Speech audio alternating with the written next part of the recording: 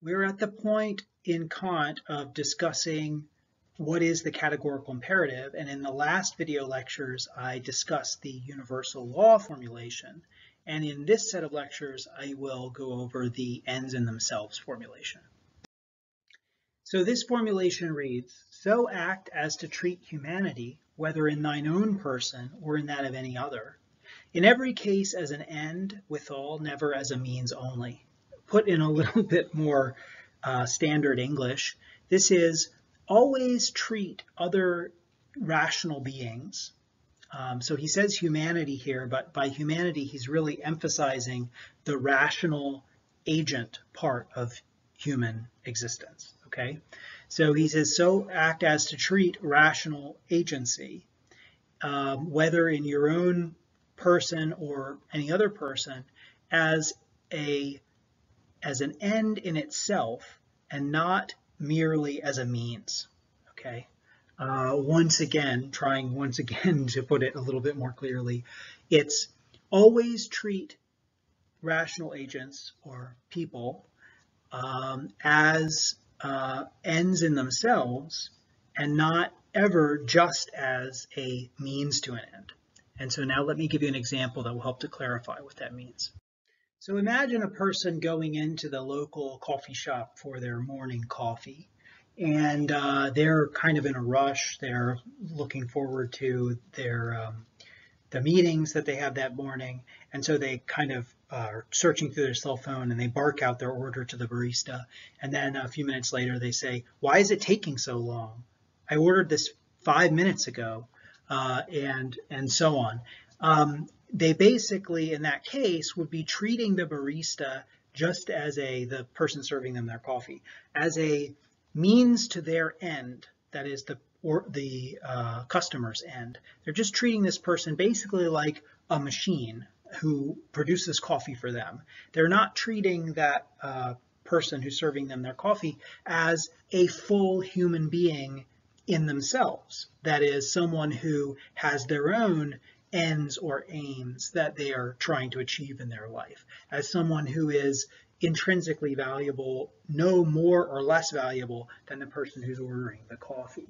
And so this idea of a distinction between treating people as means only versus treating people as ends in themselves is basically that kind of distinction.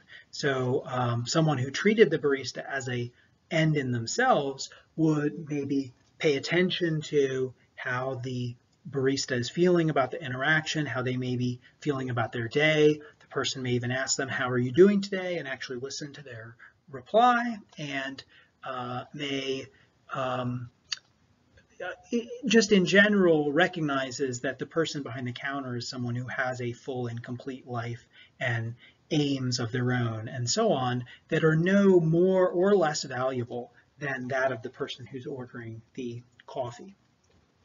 Now, it's worth noting here that the person ordering the coffee is, in the second case, who's being um, who's, who's recognizing the barista as an end in themselves, is also treating the barista as a means to an end. And so Kant is not saying never treat people as means to an end at all, but he's saying don't ever treat people as only a means. Always also recognize in your interactions with people and in, for instance, policy, you know, government policy regarding people, always recognize that people have their own intrinsic value and that they have as much of a right to decide what they do with their lives and what's important to them and what they're going to pursue and try to pursue it as you do to make those decisions in your own life. So Kant gives an argument as to why uh, morality requires this in the last part of the second section, the text that was assigned. And you can look there for that argument. And also there's more information about exactly what he means by this. Um, I think for now, I will just very, very briefly give a gesture at the style of argument that he makes, but I won't try to um, accurately summarize it in any detail. So the basic argument is this. There are two kinds of beings, as Kant calls them, are two kinds of um, existences, types of uh, stuff that exists in the in the world. One of those types of beings is what he calls things, and the other types of being is what he calls persons.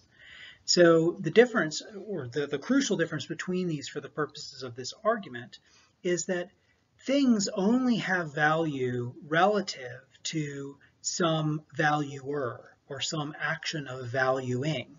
Things themselves aren't intrinsically valuable. They're just valuable because they serve some end or they end up uh, being themselves the object of desire or valuation by something that can pursue them. Persons, on the other hand, are things that uh, that that generate or um, produce distinctions of value by their valuing. So persons are things that set ends. They're the types of beings that that aim for things, that that choose things or that value things. And so in a way, persons are the source of value in the universe. They're the type of entity or being that is the origins of value itself and distinctions of value. Okay, so the next point to make after we have that distinction between things and persons is that no person is more a generator of values or more legitimately a generator of values than another. So if, if I'm a person and you're a person, then the values that we are generating or aiming for are of equivalent value because no neither one of us is a privileged valuer or has a privileged opinion about or privileged um, uh, privileged status as far as the things that we uh, are aiming for or what our ends are. So because persons are the sources of value, they're more valuable than any particular thing that's desired. And because no one person's desires are more valuable than another's. All of our desires are of equivalent value as desires, or I should put it this way, not just in terms of desire, but in terms of ends, or the things pursued or aimed for. Hum, um, persons, by generating these ends, uh, are of equivalent value with one another. Okay, and they have a higher value than the value of things, since they are the, themselves the sources of value.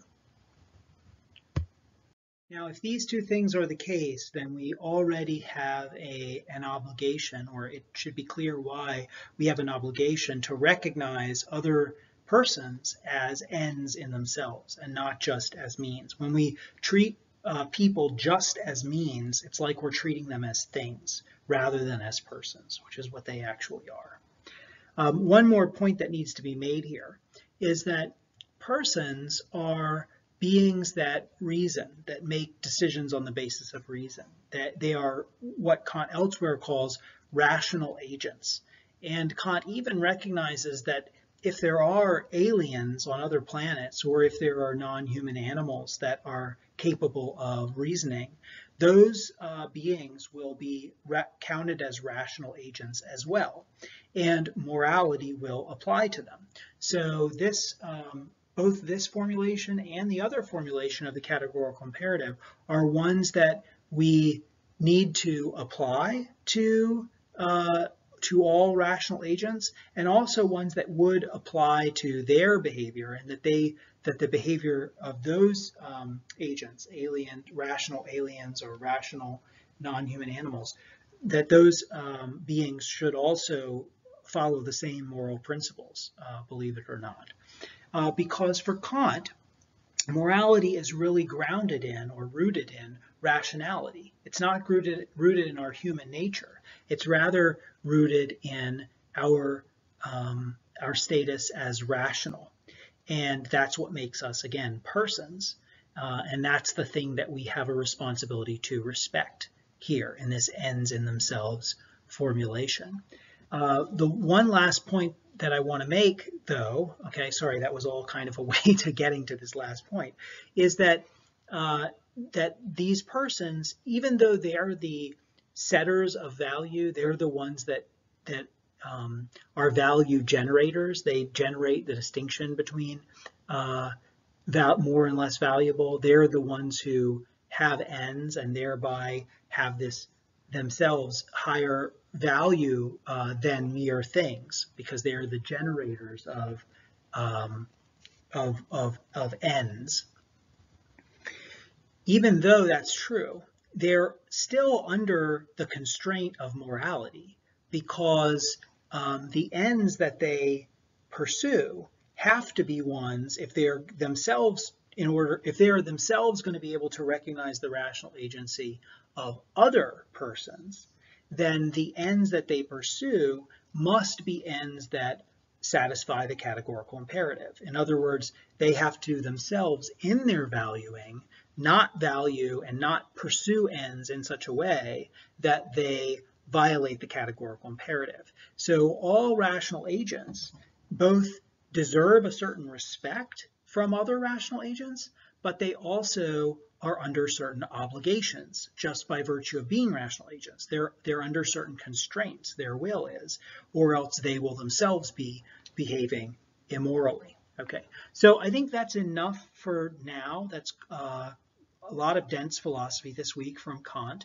and you also have an exam to take. So I will stop here and we will do some more work on Kant as well as utilitarianism, just a little bit to touch up and finish up this unit next week. So next week, week seven, we'll actually finish up the unit on uh, ethical theories and we'll move from that point forward into the new unit, the, the second main unit of the course. See you then.